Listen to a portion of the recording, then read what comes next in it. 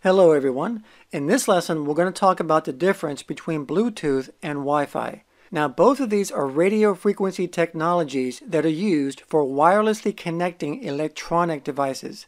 And certain devices will have both Bluetooth and Wi-Fi functionality built into them. Now both of these do have certain things in common, but there are also some differences. So let's first talk about Bluetooth. Now, Bluetooth was created to get rid of the hassle of dealing with wires and cables. Bluetooth is a low power wireless technology that uses a short range radio that provides a way to connect nearby devices to each other. Bluetooth devices will have a computer chip inside of them that will broadcast a signal so that other Bluetooth devices can connect to them, which is known as pairing. And when the devices are paired, they will then be able to exchange information between them. Now, the most common use for Bluetooth is for wireless audio streaming, such as pairing your cell phone to wireless earbuds or an external speaker. It can also be used for pairing headphones to a TV or pairing a wireless keyboard and mouse to a tablet or computer. But one of the most common uses is pairing your cell phone to your car's audio system, which enables hands-free use when you're on the phone while driving. And the range of Bluetooth is approximately 30 feet or 10 meters. Now let's talk about Wi-Fi. Now Wi-Fi is a wireless technology that uses radio waves that allows devices such as desktop computers, laptops, tablets, and cell phones to be able to connect wirelessly to the internet. And the most common way that Wi-Fi devices access the internet is by connecting to a Wi-Fi router. Wi-Fi routers will have a connection to an internet service provider that will broadcast a Wi-Fi signal so that nearby devices can connect to the signal and grant them internet access.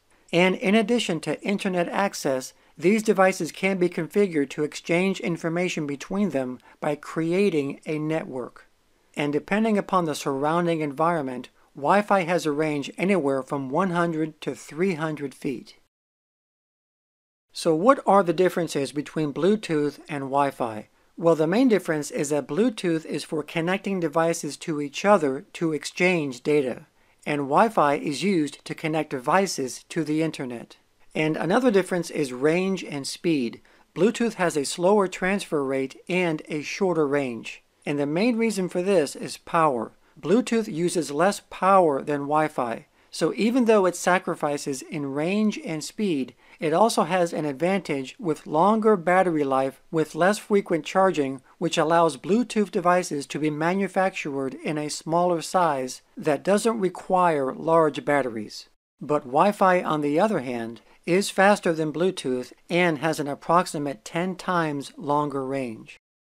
Now both Bluetooth and Wi-Fi operate at 2.4 gigahertz, but the thing is, a lot of other devices also operate at 2.4 gigahertz, such as microwaves and cordless phones. And this could interfere with wireless signals. But Bluetooth is less vulnerable to interference because it uses a technology called frequency hopping spread spectrum, which uses a method of transmitting signals in a pattern that only the transmitting and receiving devices know. The signal hops between 79 different channels and changes channels 1600 times per second, which makes Bluetooth highly resistant to interference when compared to Wi-Fi.